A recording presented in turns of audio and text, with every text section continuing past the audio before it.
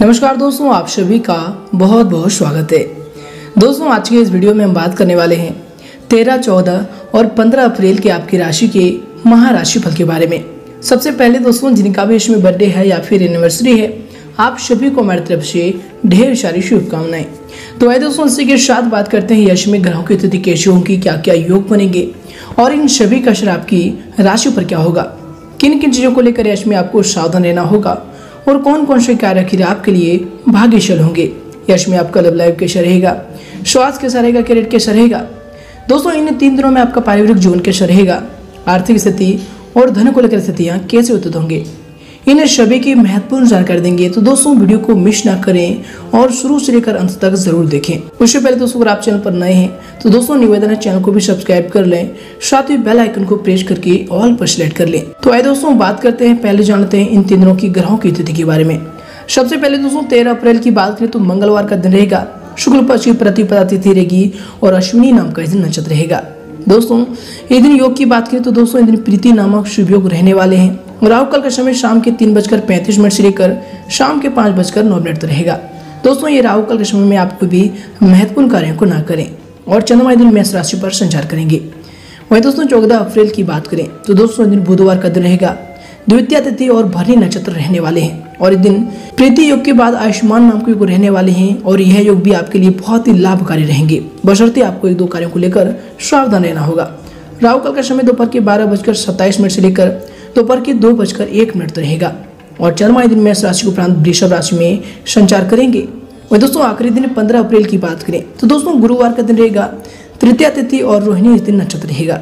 दोस्तों, इस दिन आयुष्मान नाम के योग के बाद सौभाग्य नाम के योग रहने वाले हैं। जी दोस्तों, और आखिरी दिन में भी बहुत ही अच्छे योग हैं, जो कि आपके लिए लाभकारी रहने वाले हैं। और राहु काल का समय दोपहर के दो बजकर एक मिनट से लेकर शाम के तीन बजकर पैंतीस मिनट रहेगा। और चंद्रमा आखिरी दिन में वृषभ राशि पर ही संचार करेंगे। तो आइए दोस्तों, बात करते हैं इन तीनों के जो ग्रहों की स्थिति है, और चंद्रमा का यह बदलाव आपकी राशि पर क्या प्रभाव डालते हैं। चलिए दोस्तों, बात करते हैं पूरे विस्तार से। दोस्तों, यह समय व्यवसायिक जातकों को भी अच्छा मुनाफा मिल सकता है, जिनके चलते आपको आर्थिक लाभ भी होगा। आपके खर्चों में वृद्धि देखी जाएगी। दोस्तों, यश में आप वाहन आदि की खरीदारी भी कर सकते हैं, जिसे देख आपको सुकून की अनुभूति भी होगी। वही दोस्तों, यश में अगर आपकी नेगेटिव को लेकर बात करें तो आपके पिताजी के जीवन में कई बड़े जो है बदलाव यश में आ सकते हैं।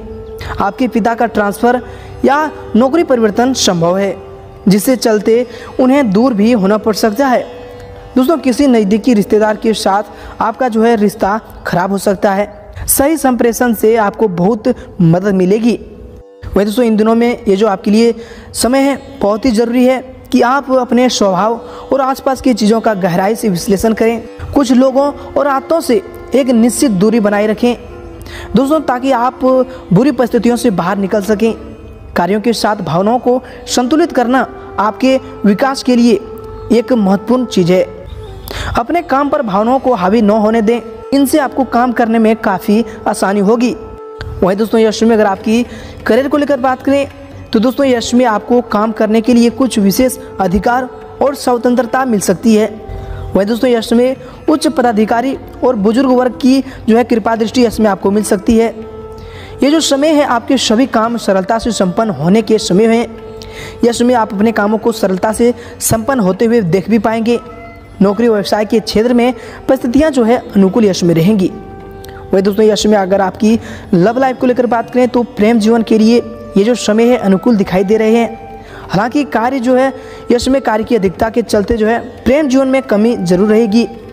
लेकिन दोस्तों, आपके और आपके प्रेमी के बीच जो अच्छे तालमेल हैं, उनके चलते दोनों में जो है दोनों लेकिन दोस्तों, आपके और आपके प्रेमी के बीच अच्छे तालमेल के चलते अब दोनों इस कमी को दरकिनार करते हुए अपने रिश्तों को और मजबूती देंगे। वही दोस्तों, ये जो समय है, आपको अपने रिश्तों में कुछ जो है बाधा भी नज़र आएगा। रिश्तों में ताजगी लाने के लिए आपको कुछ नया करने की यश में आवश्यकता होगी। वही दोस्तों, ये इन समय अगर आपकी हेल्थ को लेकर बात करें तो यश में स्वास्थ्य तो अच्छा रहेगा। इसका जो है पूरा अब आपको लाभ भी मिलेगा। क्योंकि दोस्तों यश समय सेहत के लिहाज से ठीक ठाक समय रहने की उम्मीद दिखाई दे रही है। वही दोस्तों यश में अगर आपकी भाग्यशाली रंग की बात करें तो भाग्यशाली रंग रहेगा गुलाबी और भाग्यशाली अंक रहेगा छः। दोस्तों यश में विपरीत लिंगी व्यक्तियों की तरफ़ अपना ध्यान केंद्रित करेंगे। किसी के लिए अपने मन में कोमल भावनाएँ भी उदित होंगी। दोस्तों पुराने संबंध नए मोड़ लेंगे अथवा नए संबंध बनेंगे। परंतु दोस्तों वह प्रक्रिया धीमी गति से आगे बढ़ेंगी। आप किसी को भोजन के लिए आमंत्रण भी देंगे। दोस्तों, ये जो समय है, मौज मस्ती और आनंद करने का समय होगा। वही दोस्तों, इन दिनों में अगर आपकी वित्तीय स्थिति यानी धन को लेकर बात करें तो आपकी रचनात्मक क्षमता जो है, यश में उभर कर सामने आएँगी। इससे जो है, आप अपनी जो है कार्य प्रणाली को बदल सकेंगे और आप काम के हर पहलू को आसानी से प्रबंधित भी यश में कर सकेंगे। दोस्तों, यश में अपने रचनात्मक रस को फिर से भरने के लिए साहसी बनते हुए मौके के अनुसार आप जो है, अपने आप को ढाल लें। वही दोस्तों, इन दिनों में अगर आपकी पारिवारिक जीवन की बात करें तो ये जो समय है, कुछ चिड़चिड़े रहेंगे, जिससे आपके लिए जो है अनुमान लगाना कठिन होगा। सतर्क रहें, क्योंकि ये जो समय है, आपके साथी को दिमागी रूप से चकरा सकता है। वही दोस्तों, यह समय अपने साथी से आप झूठ बिल्कुल ना बोलें, क्योंकि ये जो समय है, स्थिति अधिक जटिल हो जाएँगी। वही दोस्तों, इन दिनों में अगर आपकी आर्थिक स्थिति की बात करें तो आप वित्तीय जोखिम ले सकते हैं आप किसी प्रोजेक्ट के पीछे पैसे का निवेश करना चाहेंगे। जिस काम को करने के लिए आप पिछले काफ़ी समय से सोच रहे थे, आप उसके लिए कुछ समय भी निकाल सकते हैं।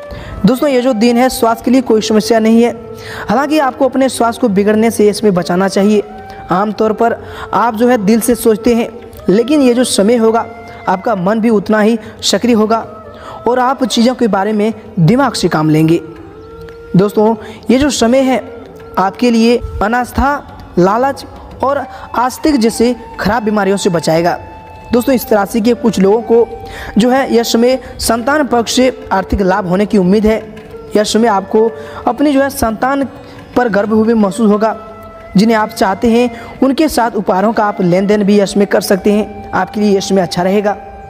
दोस्तों, अपने पीर के कड़वे शब्दों के कारण आपका मूड भी इसमें थोड़ा खराब हो सकता है। वही दोस्तों, इन दिनों में नई चीज़ों की सीखने की जो आपकी ललक होगी, काबिल तारीफ़ होगी। अगर आप खरीदारी पर जाएँ तो ज़रूरत से ज़्यादा जेब ढीली करने से बचें। आपकी जो है भागदौड़ भरी दिनचर्या के कारण आपका जो है जीवन साथी खुद को दर किनार महसूस कर सकता है, जिसका इजहार शाम को होना मुमकिन है। वही दोस्तों ये इन समयों में ये जो दिन है, किसी एक भोजन में नमक न खाएँ, इससे जो है प्रेम संबंध अच्छे होंगे। तो आए दोस्तों, अब बात करते हैं हर रोज़ की तरह एक नए और सरल टोटके के बारे में। दोस्तों, ये टोटके आपके जीवन की दिशा को बदल सकता है, आपके भविष्य में जो है खुशियों का आगमन करा सकता है तो आप इन्हें अपने डेली रूटीन लाइफ में ज़रूर ट्राई कीजिएगा। तो चलिए दोस्तों, बात करते हैं। दोस्तों, प्रतिदिन सुबह पीपल के पेड़ पर आप एक लोटा जल चढ़ाएँ। मान्यता है कि पीपल के पेड़ में भगवान विष्णु का वास होता है। दोस्तों, रोज़ ये उपाय करने से भगवान विष्णु प्रसन्न होते हैं और सुफल जो है अपने साधक को प्रदान करते हैं। तो दोस्तों, इन बातों का ख्याल अपने डेली रूटीन लाइफ में रखें और उन्हें प्रयोग करें। दोस्तों, देखते ही देखते जो आपके भविष्य जो है बदलने लगेगा, आपके जीवन में खुशियों का आगमन होगा, आपकी जो है मनोकामनाएँ यश में पूर्ण होगी।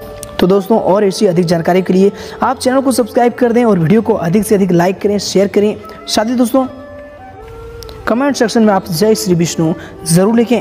धन्यवाद।